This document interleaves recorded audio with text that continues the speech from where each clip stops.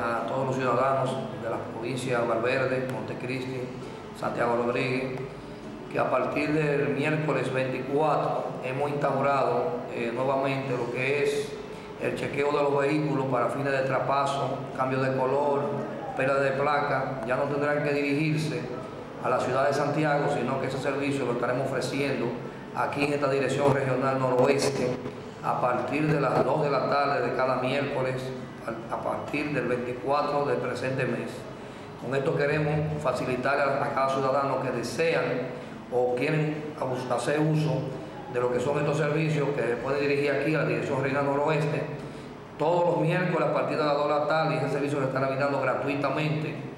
por lo que exhortamos a todos los ciudadanos que tengan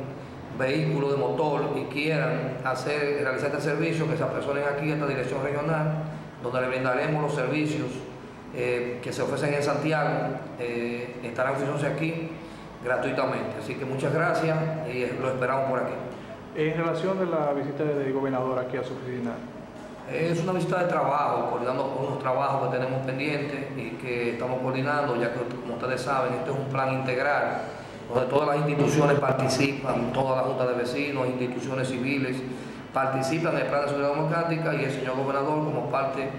y como representante del Poder Ejecutivo en esta provincia, pues lo que estamos haciendo es labores de trabajo, coordinando labores de trabajo. ¿Ha visitado usted ya alguna junta de vecinos por ese Bueno, creo que ya me quedan algunas, la visitaremos, porque hemos visitado la mayoría de juntas de vecinos y todas las que nos han invitado. Y esperemos que aquellas que nos han invitado, que nos inviten, que estamos dispuestos a asistir y compartir con ellos las quejas que ellos tienen y buscar las soluciones inmediatas. En dado caso, ¿a qué número debe acudir el presidente de la Junta de Vecinos para comunicarse con Bueno, pueden llevarnos aquí a la Dirección Regional Noroeste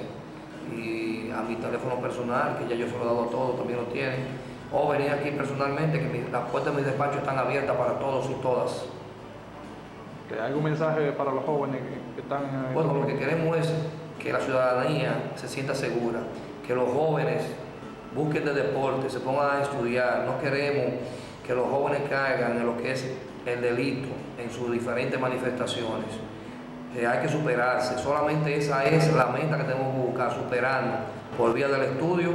y nosotros estamos aquí abiertos para cualquier sugerencia también. Le queremos poner a disposición de toda la ciudadanía lo que es el Civi Sport, que es las cuatro computadoras que tenemos aquí con internet, donde es gratuito, que puede venir a hacer su tarea, eh, puede venir a consultar cualquiera de las páginas educativas y estamos abiertos para ello. Eso es gratuito y está aquí el Cyber Sport, que es para eso.